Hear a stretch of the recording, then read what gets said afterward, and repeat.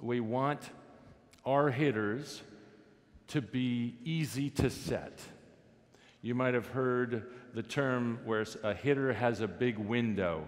It means a setter feels like she's easy to set.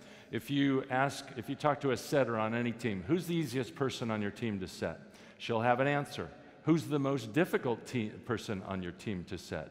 She'll probably have an answer there too. There's a wide range of who's easy and who's not so easy to set. We're trying to help every one of our hitters be easy to set to have a big window. And so that's why we teach the things that we teach so that setters know they're always ready, they're always consistent, and they can put up a ball that doesn't necessarily need to be quite perfect and still get them a great swing. That's what we're looking for. All right, so we have some outside hitters here. Why don't we come over to this side? And the first thing that we talk about is we like to do we have a setter too? or not, okay? We'll just have one of you set, that's okay. Um, we like to approach at a little bit of an angle, uh, to be a little open to what's happening across the net, to what's happening on our side of the net. We don't want to be super wide, we don't want to be super deep. We just want to be something that is a, a, at a little bit of an angle. So, um, oh, we've got a setter running in.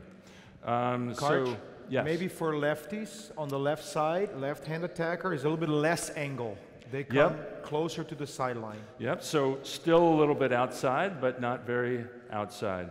So we'll just work on this first one. Um, what we're going to do is have you go through a couple. Let's have um, somebody passing in six.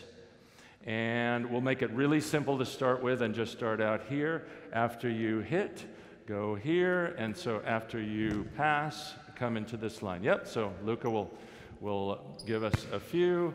And we're just at, approaching at a slight angle. Yep, now we have a left hander. And yeah, you'll stay again and and again.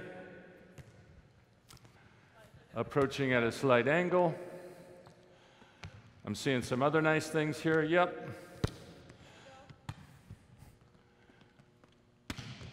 One more time.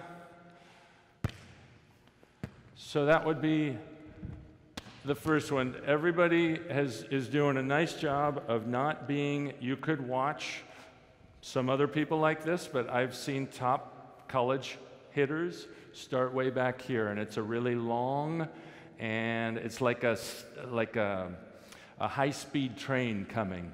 And the tough thing about that is it's actually tougher to set that person. It's kind of like if you're throwing a football and you're trying to find the receiver or just making a pass of any sort. If you have somebody running their fastest and you have to find them, that's not so easy to find. But if you have somebody who's just nice and relaxed out here, starting this way, a lot easier, it's a bigger window.